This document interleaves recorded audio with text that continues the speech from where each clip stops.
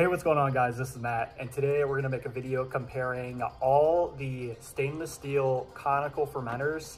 Uh, I spent some time compiling a spreadsheet similar to uh, earlier video I made in my YouTube channel where I compared uh, all of the electric Brew-in-a-Bag systems. Um, so this will be very similar to that. Check the description below with the spreadsheet. The spreadsheet will always contain um, all of the updated information as this gets as this video gets older and more systems get updated and released. I try to keep the pricing as accurate as I can and I check it every few weeks. Also, I want to make a comment about what this video is and what this video is not.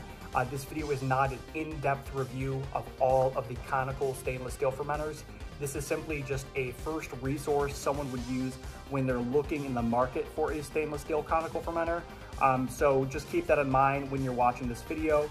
Um, also, if you notice any information is uh, inaccurate or needs to be updated, or there's a system that I need to include, uh, please put a comment down in the uh, comment section below or email me. My email is in the description. But anyway, guys, we're gonna go ahead and jump right into the spreadsheet.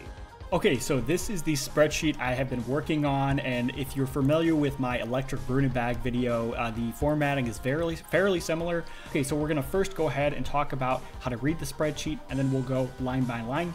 Um, so the requirement to make the spreadsheet is it needs to be a stainless steel conical fermenter. So there are uh, conical plastic fermenters that did not make the cut. There are stainless steel bucket fermenters that did not make the cut, with the exception of one. And I did make an exception for one called the Bucket Buddy that is not conical. I did choose to include it because it had a heating element built in, and it is a very low cost uh, stainless steel fermenter. If there's any information in here that is not accurate or needs to be updated or I need to include another fermenter, let me know in the comment section below.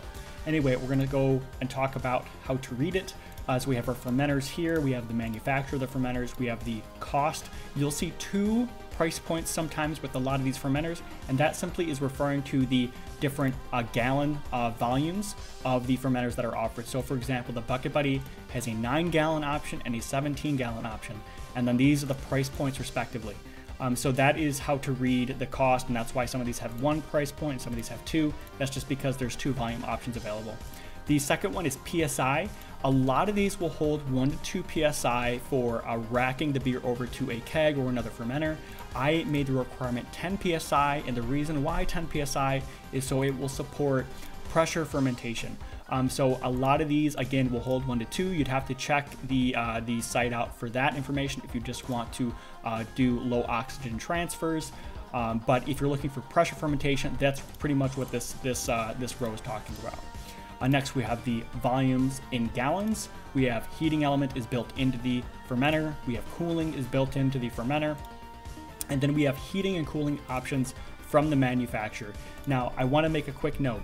There are always DIY options for all of these fermenters for heating and cooling.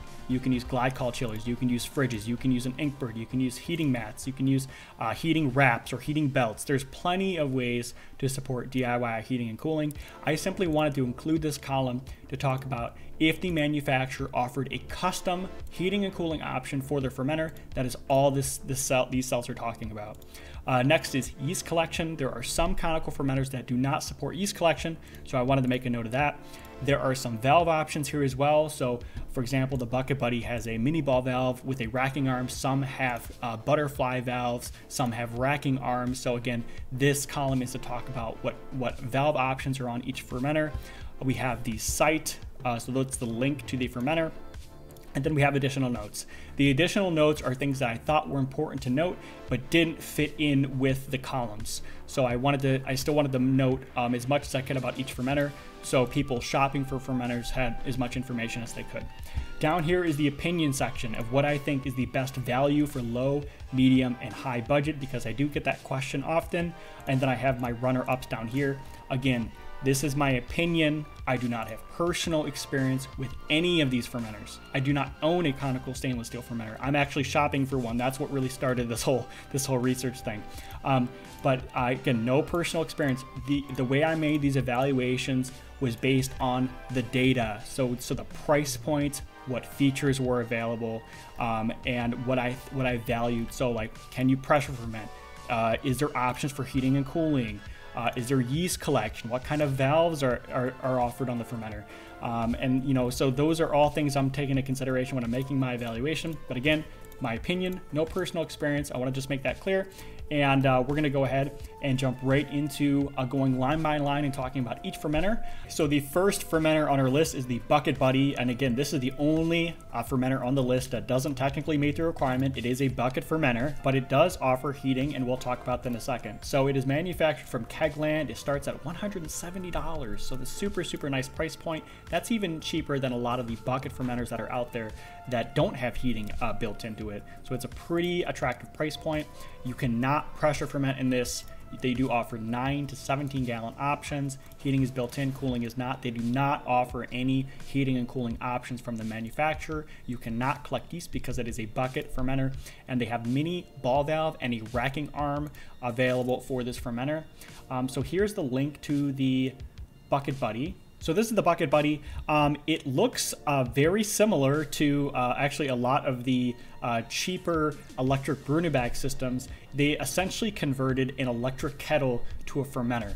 So I thought that was kind of interesting, but uh, it makes perfect sense. The one thing I want to note here about the heating element, so you'll notice on the bottom here, there's a ring around the side. The heating element is on the side of the bucket, which is really important because when your yeast is dropping, it's not like heating up the yeast. The, the ring here should be heating up the uh, the actual fermenting liquid to keep it nice and warm. It does have a uh, temperature controller down here that you can manually set, so you can go ahead and check that out if you're interested. For the uh, additional notes, I just have it is an electric kettle converted to a fermenter. It is a very low cost fermenter that had to have a heating element, and the handle and a handle is available on the bottom for easy cleaning. The next fermenter is the FermTank from Delta Brewing.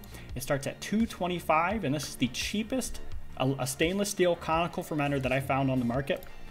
It does not have any pressure fermentation options. They start at 18 to 14 gallon options. No heating, no cooling, but they do have an optional heating and cooling option uh, for $300. You can buy this heating and cooling kit. So if it's important to you to have all of that from the manufacturer, that is available for you for this model. You can collect yeast with this, and there's a mini ball valve with racking arm and a separate ball valve. This is the FermTank. It looks a lot like a bucket fermenter, but they just added a small little uh, conical shape down here with the uh, valve for uh, a yeast collection on the bottom here. For the uh, additional comments I have over here, it says it includes a thermal well and a thermometer. It has a blow off barb, uh, additional port on the lid for accessories. Um, so go ahead and check that out if you're interested in the FermTank. The next one is the SS Brew Bucket um, from SS Brewtech. It starts at 250, no pressure fermentation. It's a little smaller uh, on, on the uh, the Delta FermTank. The uh, there's no heating, there's no cooling, and it does offer heating, heating and cooling from the manufacturer, though it is a little bit more expensive than the Delta FermTank at 315. Next, we have yeast collection. So you there is no yeast collection options here, and it includes a mini ball valve with racking arm. This is the link to the fermenter. So uh, like I said, it, it's pretty much like a bucket, but they kind of added this little conical shape, but you can't collect any yeast to it. So really, you're just kind of collecting the yeast down here, and then you're uh, pulling the uh, the beer from on top of the yeast cake, and then you're just going to dump the whole thing like you would just a normal bucket. Uh, but it is a conical shape, so that's why it met the spreadsheet. Over here, there's no additional notes, so that's that's all that's included with the SS Brew bucket. The next is called the Flex from Spike. It starts at 265, no pressure fermentation options. There is just a seven gallon option for this Flex fermenter. Uh, heating and cooling is not built in, but again, like the other ones, we do have custom heating and cooling options that are available. So go ahead and check that out if you're interested in their custom heating and cooling for their fermenter. You cannot collect yeast, and there is a ball valve with racking arm available. Um, this is the uh, fermenter, and very similarly to the last fermenter we looked at, it's kind of like a bucket, but they added this conical shape to it. The nice thing about this is it does offer a few different ports, like there's a large port on top, there's two ports on the side here, so it does uh, offer flexibility and customization, which a lot of Spike products do, so that's very nice to have. Um, over in the additional note section here, we have a top port and side ports available for accessories, so you can check that out if you're interested in uh, checking out the Flex from Spike. Um, the last uh, fermenter that I have on the low cost option, so just under 3 310, is the Anvil Crucible. It's from Anvil. uh, which is, uh, I believe, owned by Blichmann Engineering. So if you're familiar with Blichmann, Anvil is, I think, under them. Uh, does not offer pressure fermentation. They have 17 to 14 gallon sizes available here, and there's no heating, no cooling, and they offer cooling from the manufacturer. They don't offer a heating option from the manufacturer. Um, so you're gonna have to DIY some sort of heating thing if you want it, but they do offer this, this cooling thing. Quick note on this cooling system. A lot of people use this system to make other options for other fermenters. You can pretty much put this in any fermenter. Uh, so it's, it's pretty nice that they offer this because it's just, it's just attached directly to the bung up here. Um, so this is very highly customizable where you can put this, but anyway, um, it does offer cooling, no heating though, that's why it's yellow. Uh, it only meets one of those uh, criterias. You can collect yeast with this, so similarly to the FermTank, you can collect yeast, and it has a mini ball valve, racking arm, and butterfly valve. So this is the cheapest fermenter that has a butterfly valve available. Butterfly valves are preferred than uh, larger uh, ball valves. So we have the link here to the Anvil Crucible and it kind of start it's starting to look more like what you would imagine a fermenter to look like. So you have like the, the deeper conical shape you have the larger valve here for yeast collection um, and then it's kind of on these like little uh, there's little legs here to keep it nice and uh, nice and tall. But anyway this is the uh, the seven gallon option. Uh, like I said before there's a 14 gallon option.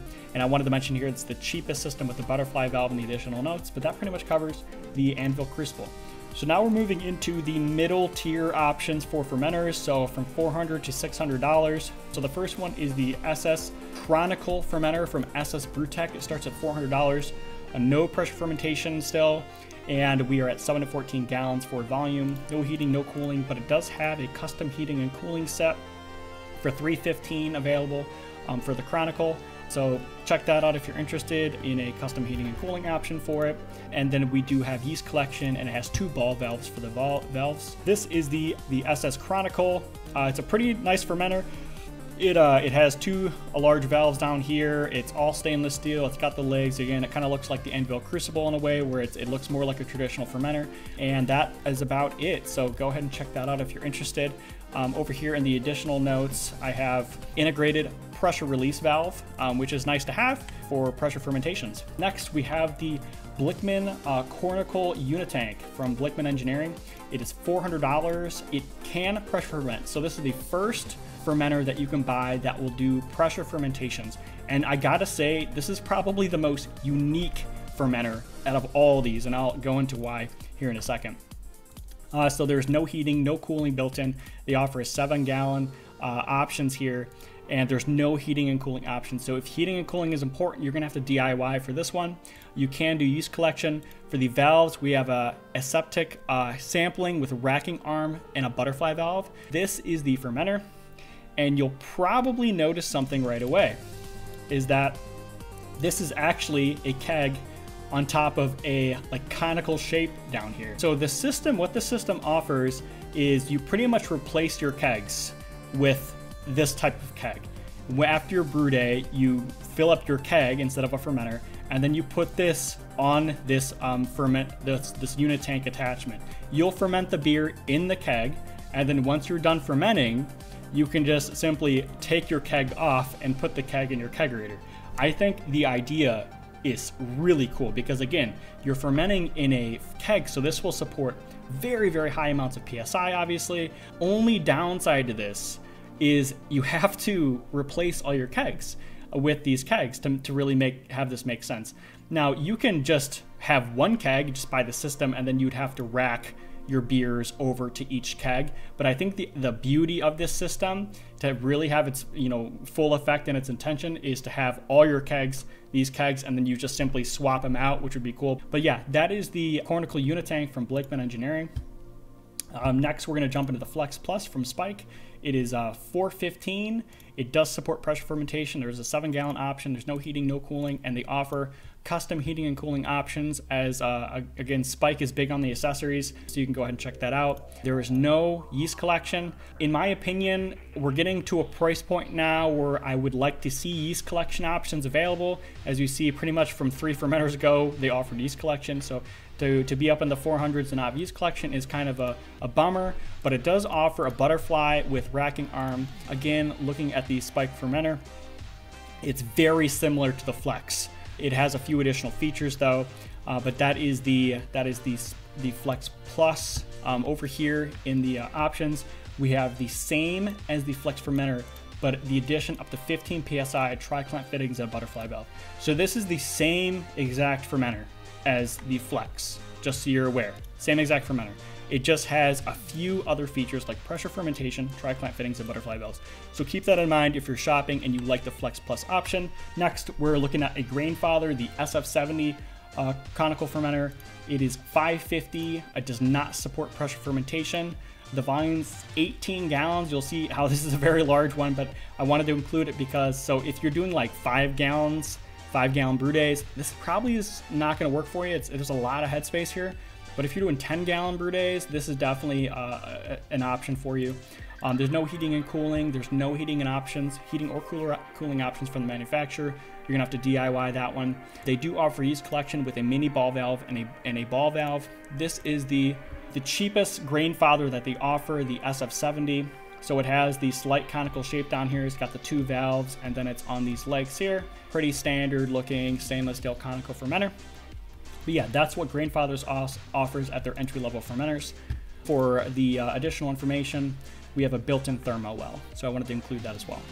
Next, we have uh, from SS Brewtech the SS Chronical Brewmaster fermenter. So this is going to be similar to the SS Chronical fermenter up here, except it's the Brewmaster edition. It just has additional features. So it starts at $600, does not offer any pressure fermentation.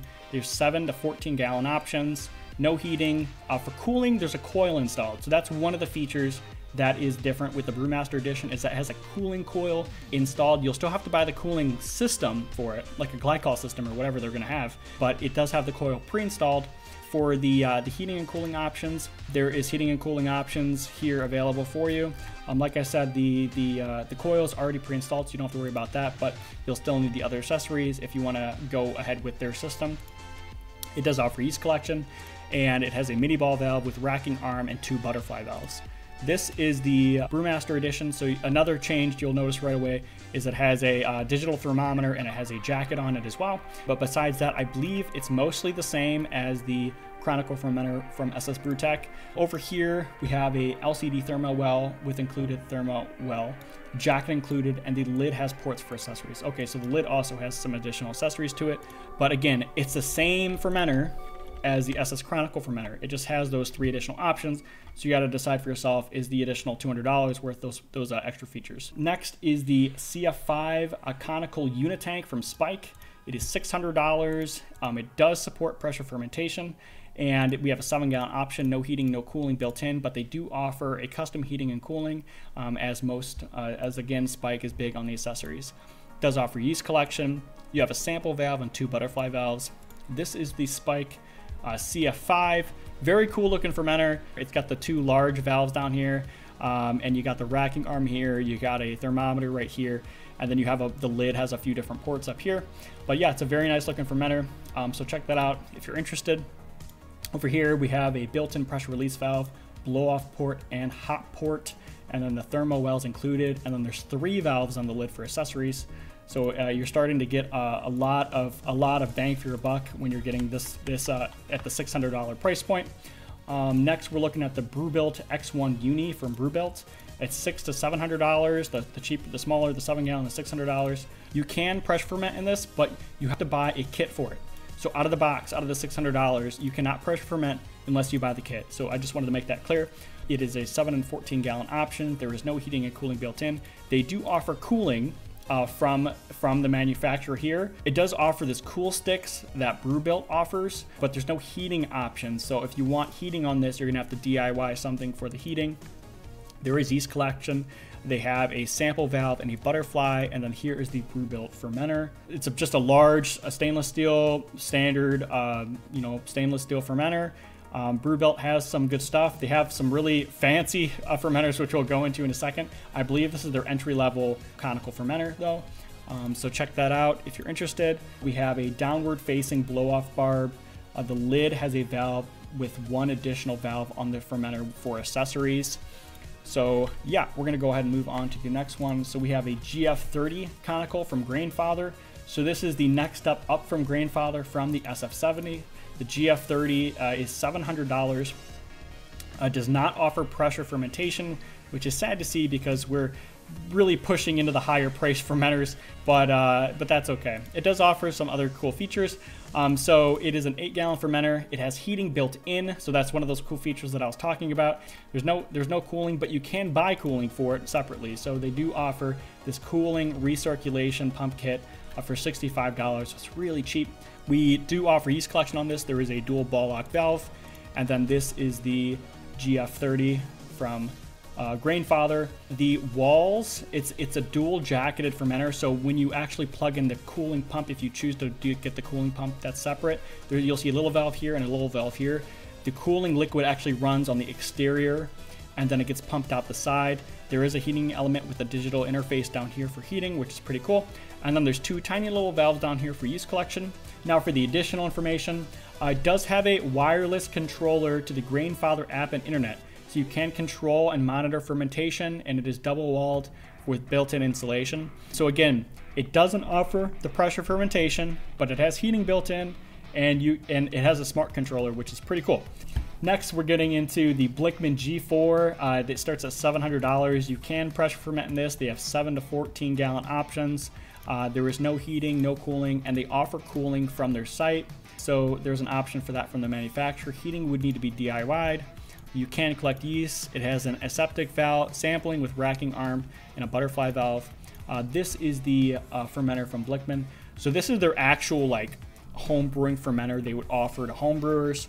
Uh, the uh, the other fermenter again from Blichmann is like that keg fermenter that I was talking about. So this is pretty much the G4 is pretty much what they sell as their main fermenter. For the additional notes, uh, we have a pressure release valve on lid. Uh, there's a thermometer included with a thermo well.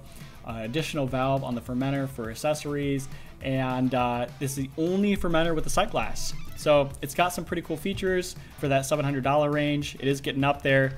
The next fermenter to talk about is the CF10 conical unitank from Spike. Uh, so you'll notice in the past that we've reviewed three Spike fermenters so far, and they've all been in the 7 gallon range. This is the first Spike fermenter that is in the 14 gallon range, so keep that in mind if you're looking for Spike fermenters. You might have to get in the higher price point if you need a uh, larger fermenter. So it does support pressure fermentation. It is 14 gallons. There's no heating, no cooling, but they do offer heating and cooling custom for the Spike fermenter.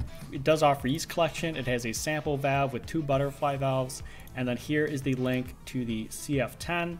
Again, it looks pretty similar to the uh, other Spike fermenter we were looking at, previously at the lower price point. It's just larger. It's just a larger fermenter. For additional notes, we have a built-in PRV, a pressure release valve. It's a blow-off port and hot port thermo well is included and there's three valves on the lid for accessories. Again spikes likes their accessories so uh, if that's that seems interesting to you uh, check that link out. Next we're getting into the second tier for the uh, Brewbilt fermenter is the Brewbilt x1 uni plus. It starts at $800 it does support pressure fermentation but similarly to the x1 uni you need a kit to support the pressure fer fermentation. They have 17 to 4, 7 to 14 gallon options no heating. The coil is included, uh, similarly to the SS Chronical Brewmaster fermenter from SS Brewtech. And then they have a cooling kit that you can buy here um, that doesn't include the coil. So it is uh, it is around the 100 $130 price point since there's a coil already installed. You just need to buy this little kit and then you're good to go with cooling. It does offer yeast collection. There's a sample valve with and a butterfly valve. And then this is the uh, Brewbilt X1 Uni Plus conical fermenter. So it's going to be similar to the Brewbilt X1 Uni. But again, it's one of these things where the uh, up, it's just an upgraded with uh, with additional accessories. So it's going to have the jacket, it's going to have the yeast collection kit, etc. So you're just getting the same fermenter. It's just going to have a little bit more accessories for you that you don't have to buy separately. So I, I said same as X1 Uni, but included with the cool stick. Uh, so that's the cooling coil I was referring to and then it's an insulated jacket, trub separator, and yeast harvester. And then there's a pressure pack for serving. This is for serving pressure, um, so you can use this as like a uh, like a unitank.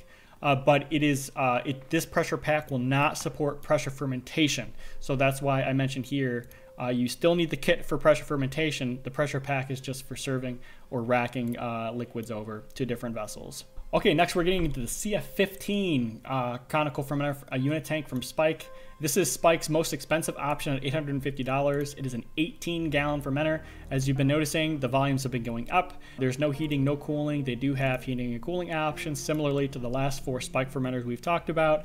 So you can always get that if you want an option from the manufacturer. For yeast collection, it is available. There's a sample with two butter butterfly valves.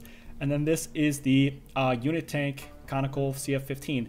Now you'll notice it's similar to the CF10, except again, it's bigger. Um, so that's kind of the theme with Spike, is you're getting a similar ferment fermenters with these uh, upgraded fermenters, they just get bigger in size. So I'll say built-in PRV, blow-off port, and hot port thermo thermometer included, and there's three valves on the lid for accessories. Now we're getting into the really expensive fermenters. There's two here that I, I found that fit the criteria that I wanted to include. We have the SS Unitank from SS Brewbilt, which is their most expensive fermenter they offer at $1,089.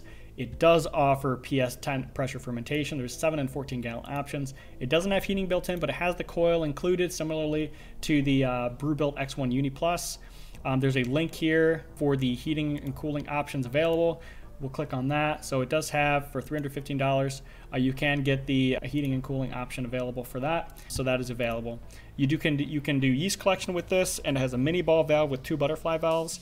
Uh, this is the link to the Unitank. You know, it's similar to the other sizes, and it has a lot of ports on it, uh, sampling ports, a, a, digital thermometer. It's got the jacket, and it's got two very large butterfly valves, which is nice for yeast collection. And then for over here, for the additional notes, it is an insulated wrap. There's a carb stone included. It comes with a shelf, pressure release valve, a welded blow-off cane, uh, there's lots of tri-clamp fittings, thermo well, and LCD thermometer. So this has a ton of stuff included. And the last fermenter to talk about is the most expensive fermenter I found, and that was the uh, the Brewbilt X1 Uni Pro from Brewbilt. This is their most expensive fermenter at $1,500 for their seven gallon uh, seven gallon volume. Uh, it does offer pressure fermentation, but similarly to the last two Brewbilt fermenters we've talked about, you have to buy a kit for pressure fermentation. Now this is pretty unique here. It has heating and cooling built in. This is the only fermenter to have heating and cooling built in. So you do not need to DIY anything. You do not need to buy anything from the manufacturer. Um, so it has that built in, which is nice. It has yeast collection available. There's a sample valve with butterfly.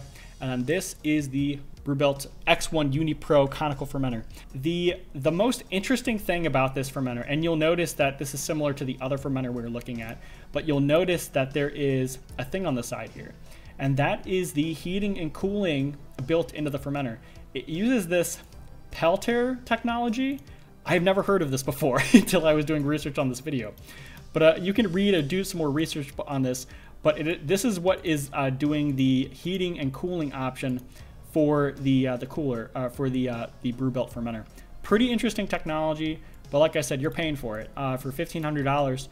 Um, that's some serious bucks for a seven gallon fermenter. So we have insulation wrap included, blow off port, uh, the Peltier technology. Um, we have heating and cooling built in. There's a mirror polish finish in the inside, so it's easy to clean. There's a built-in pressure relief valve. There's a port on front and on the lid for accessories. So it's got a ton to offer here. Again, it's just expensive. Okay, so that really concludes the walkthrough. But anyway, guys, I know this is a long one. If you watch the whole thing, Thank you so much for watching the whole video. If you jumped around, that's cool too. Uh, but anyway, guys, thanks so much for watching, and I'll see you in the next one.